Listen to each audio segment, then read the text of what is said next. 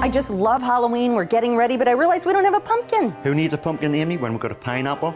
I've already caught this pineapple. Now I'm going to turn it into a jack-o'-lantern. Perfect. I'm gonna make some bitty bats out of a low-fat spinach dip. You just shape it into balls, press the balls into black sesame seeds, which you can get at an Asian market. For wings, I like to use blue tortilla chips.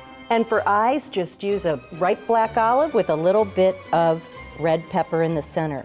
It's scary, delicious, and good. I'm ready. How about you? Me too. Beautiful. How about that?